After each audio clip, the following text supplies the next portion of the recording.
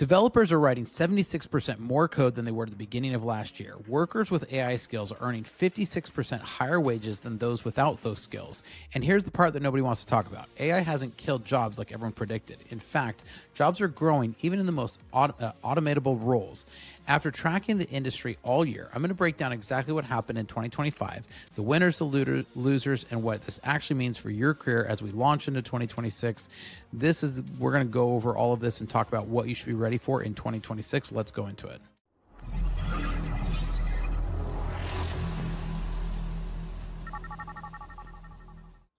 Welcome to Startup Hakk. I'm Spencer, and here at Startup Hakk, we love to build custom software solutions for companies. With a decade of executive leadership as a fractional CTO and 25 years of software development, I've mastered transforming tech teams and products. All right, so 2025 was supposed to be the year AI took everyone's job, right? But instead, it became the year that AI made more workers more valuable, more productive, and better paid. So let me show you what the data actually shows. And trust me, it's not exactly what you're hearing from all the doomsday social media folks. So let's jump over to our other screen here. So this is a letter from A16Z, and I've you know read from these before. So uh, these are great, you know, publications. I'm a big fan here. So uh, monthly web users across major LLM assistants, right? So you're seeing that more people are using LLMs, and then ChatGPT, Gemini, and Gemini year over year growth, right? So we can see that ChatGPT pretty much has gone stagnant and or dropped over the year over year, right? So pretty stagnant. Whereas Gemini, we saw had a huge rise and then drop and then come right back up, right? So we saw a huge jump in Gemini toward the end of the year, where it's definitely overtaking, um, you know, OpenAI. Now, and that's not a big thing, right? Google's come a long way since the days of Bard. The company has a massive 2025 and both new models and new products. Unlike OpenAI, Google creates more surface area for new products. The company launches models within Gemini and other access points.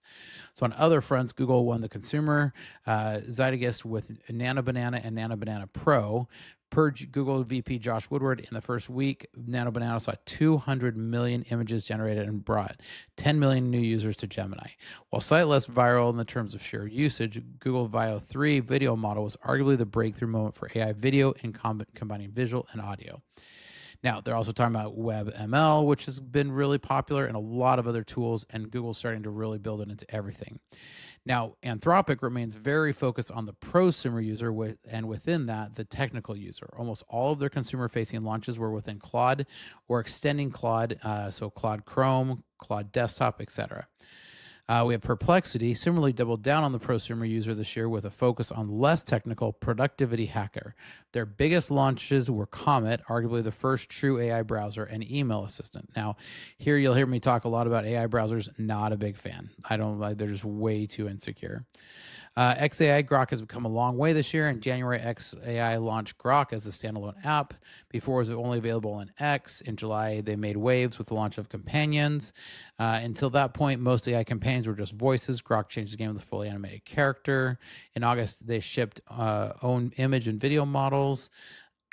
now, according to Sensor Tower, Grok went from zero users to the, at the beginning of this year to 9 uh, million users, uh, which is daily active users, and 38 million monthly active users as of mid December. Now, Meta, it's been very rocky. The company launched a standalone app called Meta AI in April, intended to place chat within your AI assistant, but app went viral in June when most people discovered that older users were accidentally sharing their conversations with a chatbot on the main discovery feed. Very nice, right? So they got the wrong kind of press here that you want to see. So that's kind of a good rundown on all of these. Now, I like this this post here. It says, "Well, you're not paid to code; you're paid to solve business problems with code. That's a big difference." And and I'm going to go into this one too. Uh, this guy says Claude Code is insane, and Elon thought this was funny. I know literally nothing about coding, zero, and I just built a fully functional web app in minutes. And he gives you a local host, right?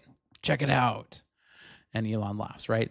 Point here is back to this, right? You're not paid to code, you're paid to solve business problems with code, and that's a big difference. And that's what we're seeing here, right? The computers can start to write code for you and it could be as nice as it wants, but until you know how to deploy it, until you know how to manage it, until you know how to maintain it, until you know how to edit it, until you know how to like it's not going to do you a whole lot of good just to write code faster.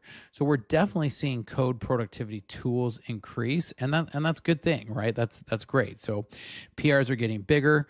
This is good and bad, right? Because the median PR size increased 33% from March to November. Now, part of me as a as a manager, you know, is a little concerned about this because large PRs are difficult to manage, right? This one's lines of code per developer grew from 4,400 to 7,800 as AI tools act as a force multiplier, and that I actually agree with, right? So it's kind of like autocomplete on steroids, and it and it really is. So we should definitely be using it, but it's not going to replace developers. Now, medium teams, 6 to 15 increase output from 7,000, 13,000 line per developer. Now, again, my favorite commits are the ones where people are deleting code. So, not always sure that more code is better, but you know, you could argue that this is you know productivity swings. Median lines change uh, per file grew from 18 to 22 as PRs uh, become denser, right? Now let's talk about some of the adoptions here. Um, so AI SDK growth, Anthropic SDK leads at 40, 4.43 uh, million. So they had an 8x growth over the year. Vercel was next. Um, and you can see some of the rest with OpenAI agents pretty low here.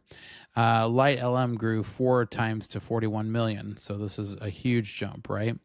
Um, see, look, some of these other ones here. So, OpenAI had some huge growth. Anthropic had huge growth. Google had huge growth. All you know, toward the tail end of the uh, you know into 2025 as we move on. Now it says OpenAI leads. Uh, so this LM provider SDK download. So Anthropic grew 1.5 uh, times uh, so Google, or sorry, OpenAI has the largest number, but Anthropic had one of the largest growth, and Google's at th- uh, 13 million for open source models. Now, there's a lot of these that we can definitely continue to go through. Tons of different reports. You can definitely find these reports out there as well. I don't often uh, link a lot of these reports just because, like, we're moving through these really fast, and a lot of this is my analysis of the report. So, according to Greptile State of AI Coding Report, developers' output increased 76% from March to November of 2025. That's lines of code per developer growing from 4,400 to 7,800. Pull request size jumped 33% during the same period. And again, this is one of these where I'm seeing, you know, an increased number of bugs. And this is part of the reason why we're seeing an increased number of bugs. So developers need to make sure that they're watching those PRs really closely. Median sized teams uh, grew teams from six to 15 developers saw the biggest gains with output increase of 89% lines change per file of 20% as developers tackle denser, more complex changes with AI. Now, in my years of building software, I haven't ever seen productivity gains quite this fast. So we're starting to see a, exactly what I've been predicting all along that developers can use these tools to become more productive faster. Now, Google's Gemini is a, at about 34% of ChatGPT scale on web and about 40% on mobile. But here's the thing Gemini grew 155% year over year, while ChatGPT only grew 23%. Only 9% of consumers pay for more than one AI subscription across ChatGPT, Gemini, Claude, and Cursor, according to uh, research. Now, Grok went from literally zero standalone users to the beginning of the year to 38 million. So they had a huge jump.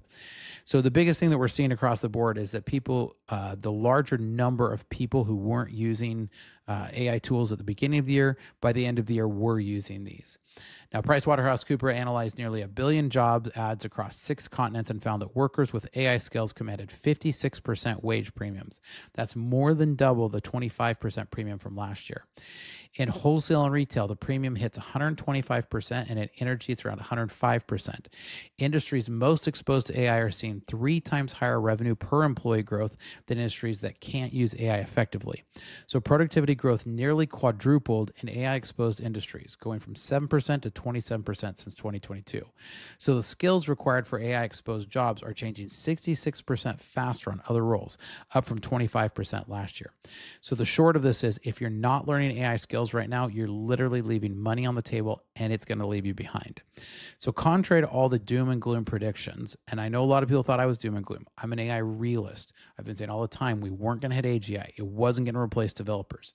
But job numbers are actually growing even in the most automatable roles, according to PricewaterhouseCoopers uh, research. Between 2019 and 2024, jobs in AI exposed occupations grew 38%, while lower exposure jobs grew 65%. So both were growing. The key difference is augmentation versus automation. Jobs where AI helps humans do better work are growing faster than jobs where AI just does the work. So Stanford research found a 20% employment drop for young programmers, but but old workers and those using AI to augment their work actually saw job gains. Now, the thing about this is we're going to see a shift here because they can't just hire old developers forever. We have to continue to build our entry level positions. So the entry level positions that are getting squeezed now uh, will continue to like there there's going to be a role for them that's coming. So this matches exactly what i've been saying all along. We're starting to see the middle middle hollow out a little bit. So like those who can learn how to use ai program using ai build on ai are going to be the winners who will win with ai and again we're going to talk a little bit about where i see the ai going now, a lot of the benchmarks show that Anthropic's models return the first token in under 2.5 seconds, while OpenAI takes more than twice that long at over five seconds. So, but OpenAI wins on throughput. GPT-5 Codex would deliver 62 po- tokens per second on the same uh, benchmarks versus Claude's 19 tokens per second. So there's a lot of different benchmarks out there, and there's a lot of things we can see at the end of the year. And I think we're going to continue to see this leapfrogging, where we see the leaders just leapfrogging and continue to beat each other by small percentages every year. The challenge here is that it's taking massive amounts of training and computation, uh, you know, GPU load and huge data centers, so 100x to gain just a couple percent. And that's what we're going to see over and over. So we're definitely seeing scale hitting its limits. Now, Google went from the Bard embarrassment to becoming the company with some of the biggest viral moments of the year. They released Nano Banana, Veo 3, Gemini Pro, Notebook LM, and a host of all other things that they've built into their platforms. So Google has the distribution advantage with their existing products. And so that's and so ChatGPT is really diving into, you know, search, but Google is going to build this into their products which everybody's still using. Now, PricewaterhouseCooper found that employer demand for degrees is declining for all jobs, but especially fast for AI exposed roles. The percentage of AI augmented jobs required degrees fell 7%, um, 7 point, percentage points from 66% to 59% between 2019 and 2024. For AI automatable jobs, it dropped 9 points. So companies like IBM, Google, Apple are moving skill based hiring focus what you can actually do more than where you went to school. Now, this matches what I've been saying for years. Your portfolio and your skills and your ability to solve problems matters far more than your diploma. If you're spending hundreds of thousands of dollars on a degree when you could be building skills and shipping projects, in my opinion, you're playing the wrong game. Now, according to A16Z, uh, consumer AI startups are hitting revenue milestones faster than any previous generation of tech companies. Cursor reported $100 million in revenue in its first year. That's unheard of for a developer tool. Lovable hit $50 million in revenue in just six months. The median enterprise AI company in A16Z's data reached more than 2 million in AR in just one year, while median consumer companies hit 4.2 million. So what used to be considered best in class, 0 to 1 million AR is now the lower end of what AI companies are achieving. So OpenAI launched apps to let third-party developers, but these kind of really fizzled. But a lot of other things gained in 2025.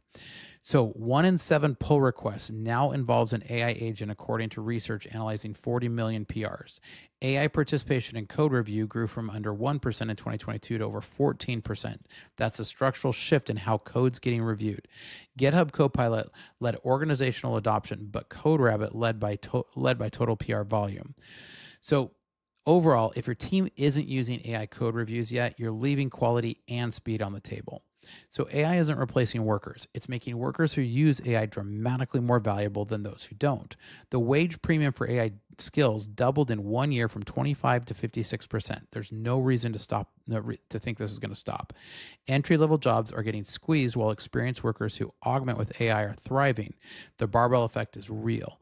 Consumer AI platforms are maturing into ecosystems with app stores, integrations, and developer communities.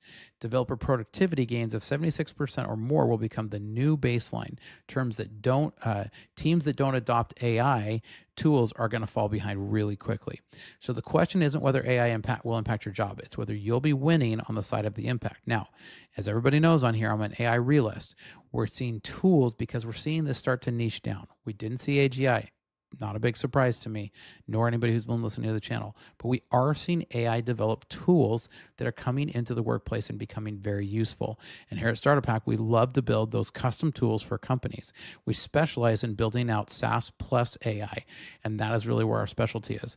So if you need help with your with a team or with some of these tools, reach out because we'd love to help. And here's some great information about our services. And check out startuphakk.com. Hi, I'm Spencer, a fractional CTO. With over a decade of executive leadership and 25 years in software development, I've transformed technology teams and products for businesses just like yours. As your fractional CTO, you get the strategic guidance of a seasoned technology executive without the full time commitment, perfect for companies ready to leverage cutting edge technology without expanding headcount. My team at Startup Hakk has already built advanced AI agents for small and medium businesses, automating complex workflows and delivering advanced ROI to human workflows. We specialize in creating custom software that connects your systems into a single coherent technology ecosystem. Our development approach focuses on tangible business outcomes. For one client, we developed AI powered workflows that cut days off of human processes. For another company, by connecting multiple systems, we reduced processing time to increase their ROI by over 75%. We don't just write code, we architect solutions that scale. Whether you need cloud system architecture, data integration between legacy systems, or custom AI agents that automate your unique business processes, my team delivers results that exceed your expectations. Having led technology for a lot of companies and launched seven successful brands of my own, I bring battle tested expertise to your business challenges. Our specialty is turning technological complexity into business advantage. So if you're ready to harness the power of AI and custom software to drive your business forward, let's connect. Together, we'll build technology that doesn't just solve today's problems, it positions you for tomorrow's opportunities. Technology leadership, decades of experience, AI powered. Reach out today and we can help you. Check out startuphakk.com